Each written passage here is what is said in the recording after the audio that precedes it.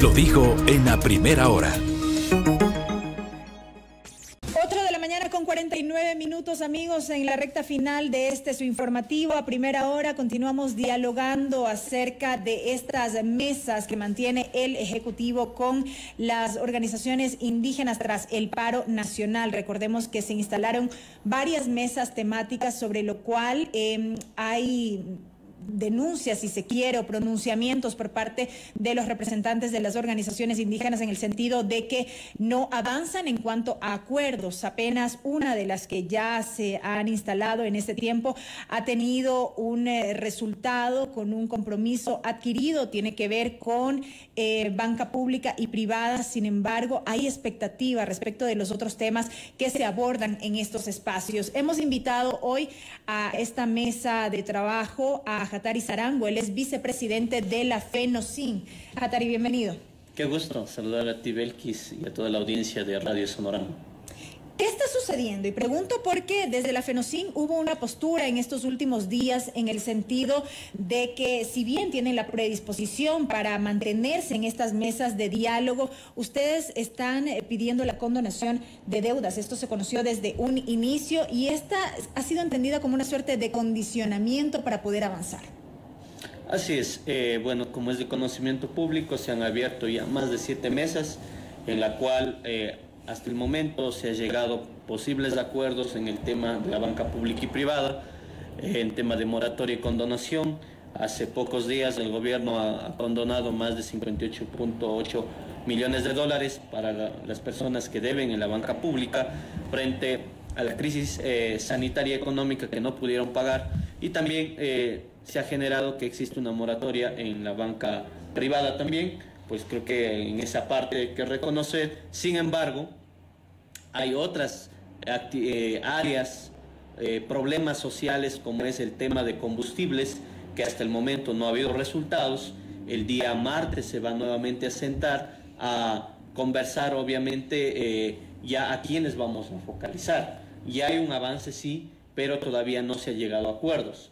Lo que se está focalizando o lo que estamos pidiendo es que a las personas que más necesite se focalice por ejemplo, a los transportes públicos, a los transportes comunitarios, a la pesca, a los eh, taxis, eh, en este caso de la costa, son que realmente necesitan, sobre todo al sector agrícola, ¿no? a las máquinas agrícolas que elaboran y trabajan, eh, en este caso, trabajamos en el campo, y a su vez también en, en el tema del fomento productivo, pues ahí lo que estamos buscando es que se fijen los precios adecuados mientras los productos del campo eh, todavía no se han fijado, pues los productos de la no industrializado cada vez va subiendo y eso ha sido un problema no solo para el movimiento indígena, sino para toda la sociedad ecuatoriana. Creo que la inflación cada día sube y creo que en eso el gobierno tiene que regular y controlar en el mercado de acuerdo a los precios de cada producto.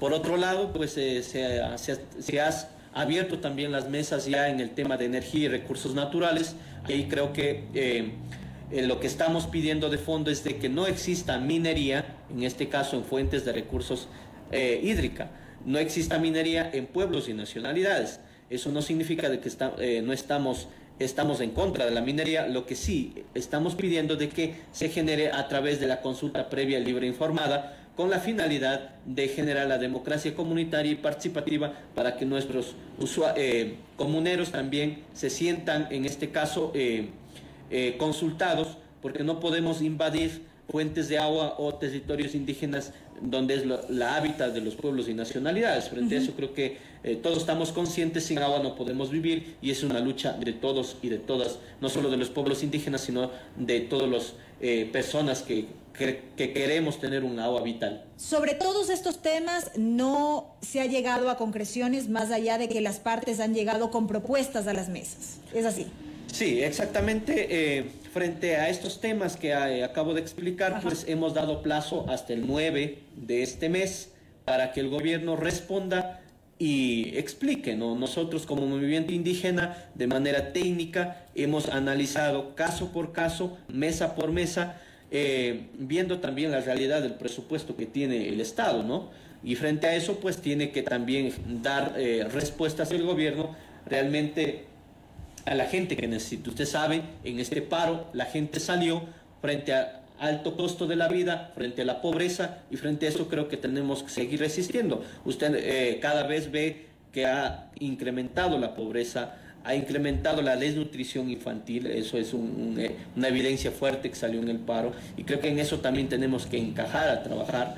Y por último decir también, esperemos de que haya voluntad del gobierno, quien tiene que responder es el gobierno.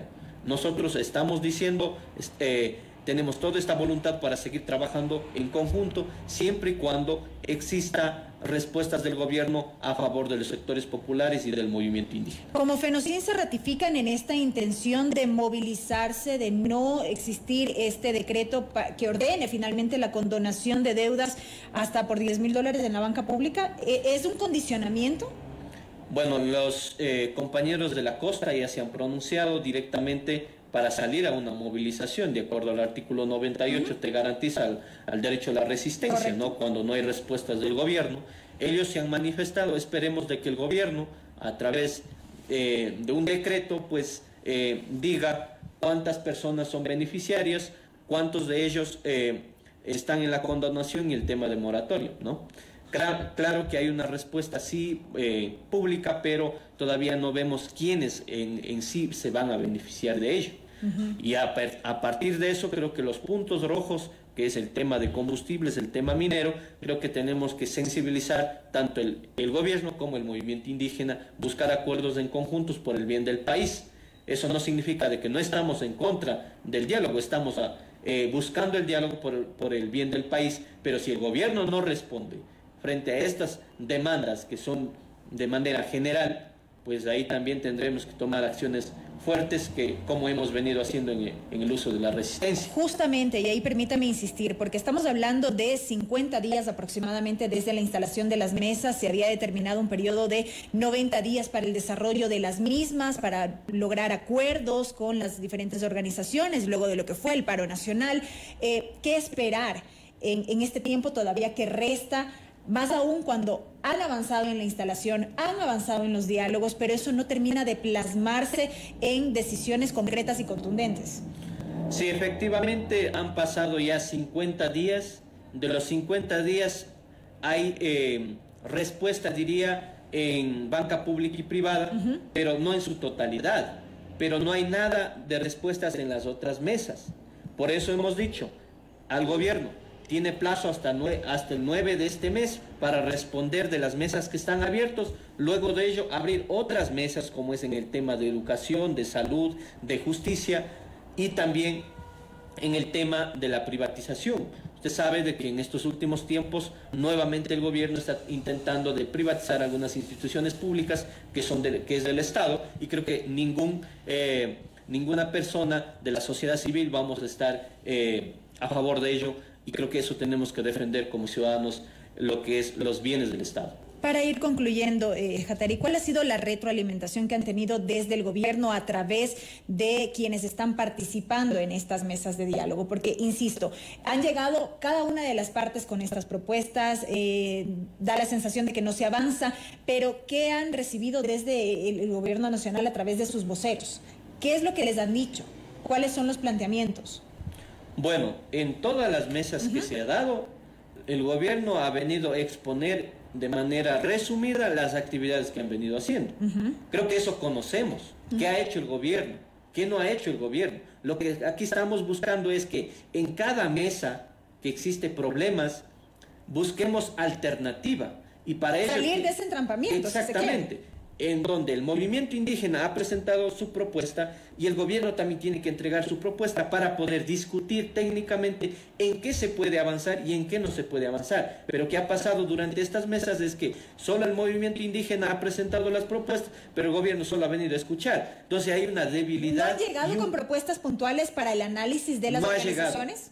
Nosotros hemos propuesto, pero si ellos han acogido sin nuestra propuesta, de ello está la eh, respuesta de la banca pública y privada, pero propuesta de ellos no ha habido hasta el momento. Lo que sí han venido a escuchar primero, luego de eso a analizar. Pero yo creo que como Estado ellos deberían, conociendo toda la realidad de cada eh, sector, pues vendrían ya estadísticamente decir, en esto hay cómo, en esto no hay cómo, ¿por qué? Entonces, en ese sentido creo que sí llamar a la conciencia, sobre todo al gobierno, de buscar voluntad política y social por el bien del país que debemos trabajar juntos. Correcto, y la expectativa se mantiene. Hatari Sarango, gracias por haber estado con nosotros hoy en nuestro espacio. Gracias a ti, Belkis, y a toda la audiencia de Radio Sonorama.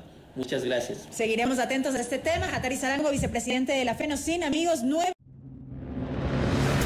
Primera plana. Todas las noticias, todas las voces.